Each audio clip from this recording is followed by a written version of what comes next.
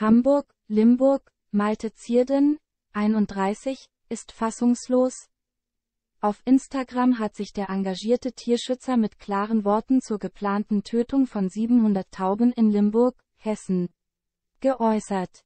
Es ist offiziell. Limburg will als tiertötendes Schlimburg in die Geschichte eingehen.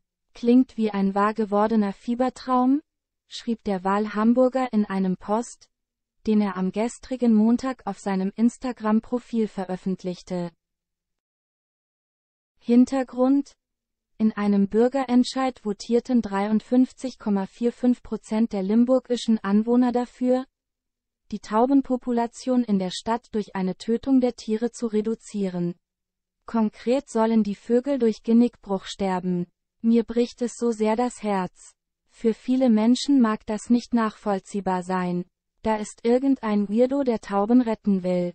Für mich geht es hier aber um viel mehr als diese 700 Tiere, unterstrich Malte in einem weiteren Statement in seiner Story.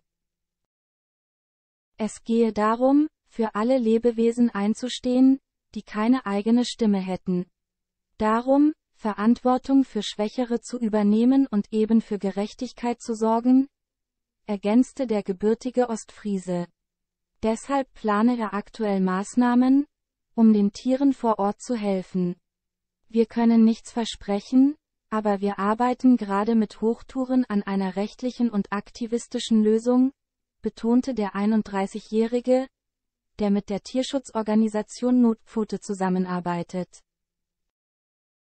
Malte Zierden hat Angst, dass andere Provinzen nachziehen gut möglich, dass der Influencer dafür auch die Unterstützung seiner Community braucht. Wenn es sein muss, dann legen wir uns gemeinsam eben mit einer ganzen Stadt an, bekräftigte der Tierschützer. Die große Befürchtung des Hamburgers? Wenn Limburg das durchzieht, werden andere Provinzen nachziehen. Das darf nicht passieren. Wir werden dagegen klagen, ob dieses Vorhaben Erfolg haben wird?